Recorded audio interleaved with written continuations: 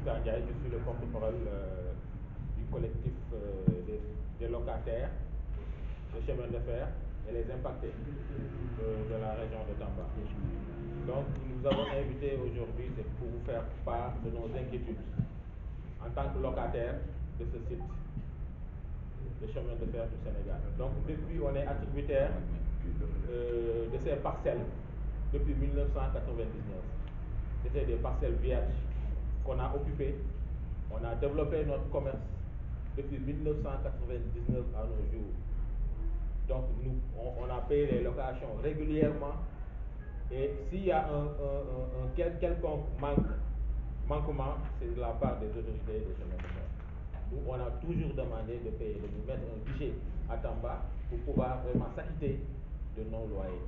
Donc, ce qui n'a pas été fait jusqu'à présent. Donc, ils ont amené un projet aujourd'hui une plateforme euh, ferroviaire. Donc, il n'y a pas eu d'études d'impact.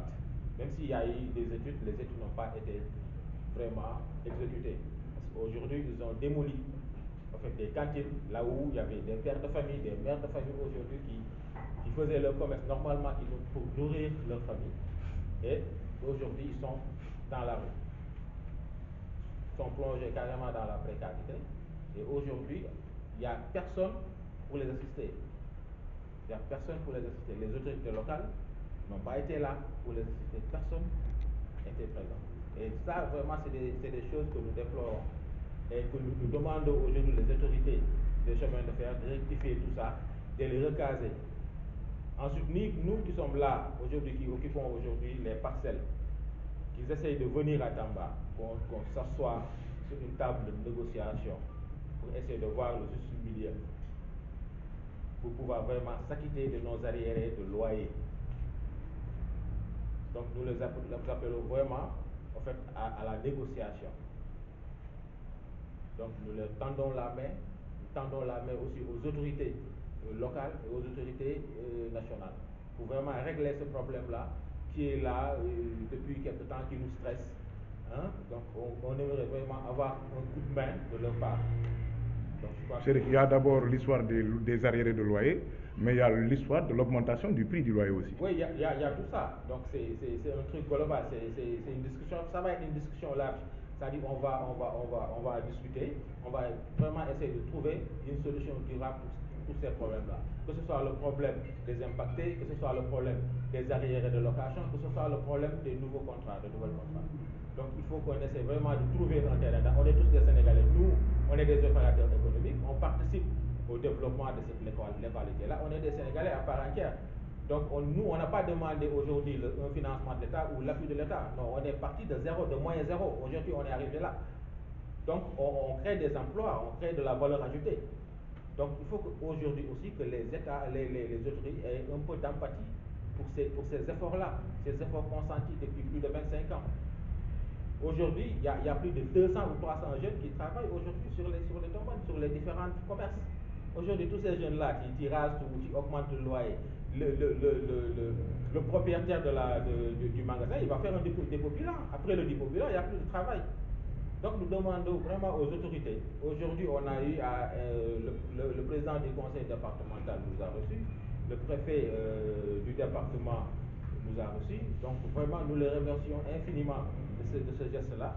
Mais aussi, nous tendons la main aux autres. Les autres qui sont là, et qui, voilà, qui, sont de Tamba, qui, voilà, qui occupent des postes aujourd'hui stratégiques, nous leur tendons la main pour qu'on puisse trouver vraiment des solutions durables à ce problème-là. Parce que ce problème-là, c'est un problème aussi social. Parce que nous tous, on est des pères de famille, on est des mères de famille. Donc si aujourd'hui, ils nous plongent dans la précarité, mais c'est ça, ça, va être la catastrophe. Ça va être la catastrophe. Donc c'est ça. Merci. Euh, Le collectif, aujourd'hui, sur, les, euh, sur les commerces recensés, au, auparavant, il n'y avait que 71 parcelles. 71. Il y avait que 71. Maintenant, il y en a qui ont pris deux ou trois. Donc, c'est ce qui ramène aujourd'hui, et, les, celles qui, ont été démolies, aujourd'hui, ça ramène les, boutiques à 42. À 42.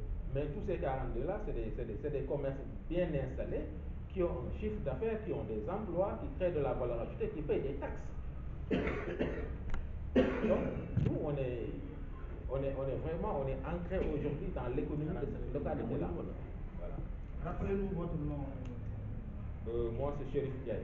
Je suis le porte-parole du. Quara- Vous avez parlé de 41 commerces. Euh, combien ont été démolis dans ces 41 commerces? Euh, sur les 48 concernant, concernant ici, il y en a. euh, Ah, c'est ici seulement, l'axe là? Non, non, concernant, c'est-à-dire, là-bas c'était la mairie, c'est un, truc qui a été installé par la mairie, construit par la mairie depuis 1976 Ok. à l'est. Ok. Donc le reste, c'est en 1992 qu'ils ont attribué les parcelles. Mais sur ça, ils ont, ils ont démoli euh, pratiquement une dizaine. Ok, merci. Une dizaine. Voilà.